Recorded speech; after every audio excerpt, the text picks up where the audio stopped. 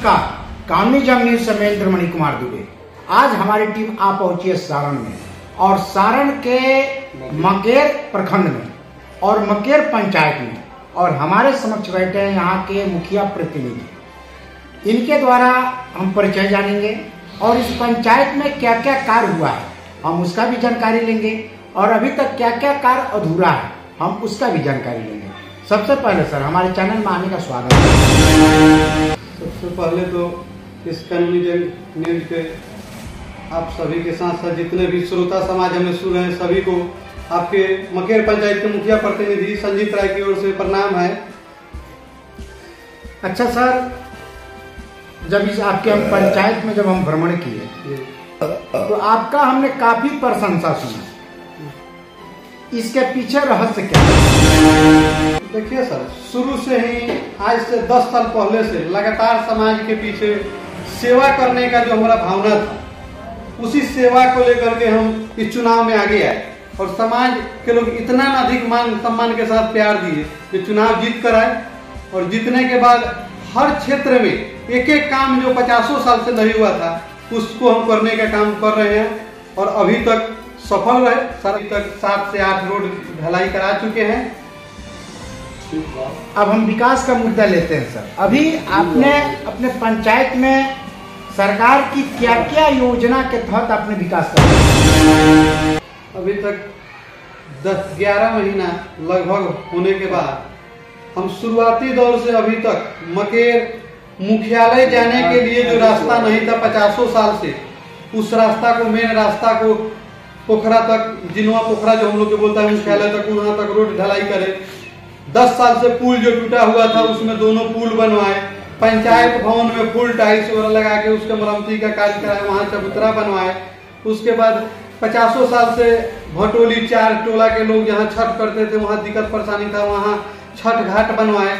चकिया में पचासों साल से अधूरा पड़ा हुआ जो नहीं हो रहा था, वहाँ छठ घाट बनवाए।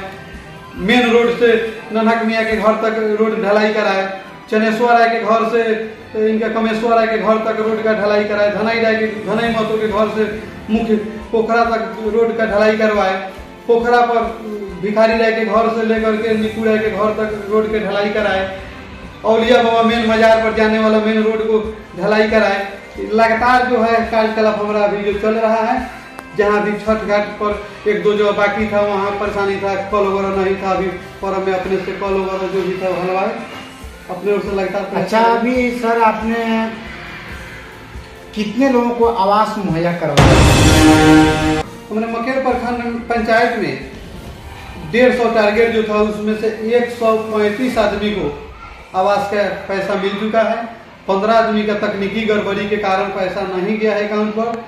जिसको सुधारने के लिए जिला से लेकर यहाँ तक हम लगे हुए हैं उनका भी दस बीस रोज के अंदर में ही पैसा अकाउंट पर ये जो आपका पंचायत मकेर है ये सबसे बड़ा हमको लग रहा है कि सारण का पंचायत है।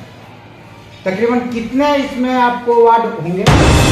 वार्ड का पंचायत है लगभग सारण जिला के सबसे बड़े पंचायत है। सारा संदेश देना चाहेंगे। हम अपने मकेर प्रखंड के सभी पदाधिकारी लोगों को यही सजेशन देना चाहेंगे।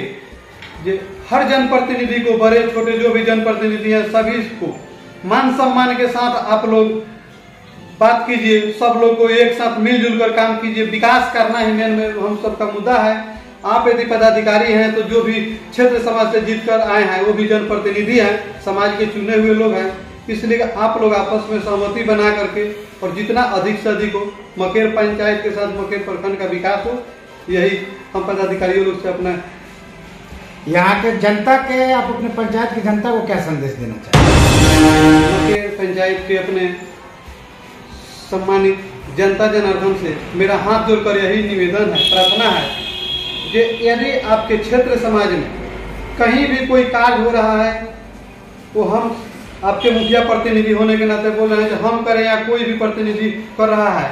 तो आप उस पर लग कर अपने से जितना बढ़िया से बढ़िया हो काम करवाएँ, जो भी रोड है, जहाँ भी थोड़ी बड़ी समस्या ज़मीन के लेकर आ रही है, आप लोग खुद उसको सोल्व करें और जहाँ अधिक से अधिक हेल्प करें ताकि ये काम और विकास हो सके। बाधक नहीं बने, यही मैं आप लोगों से आग्रह करूँगा ताकि मकेर पंचायत का जितना अधिक से अधिक विकास हो सके। काउनी जम न्यूज़ से मैं इंद्रमणि कुमार दुबे कमलेश कुमार वर्मा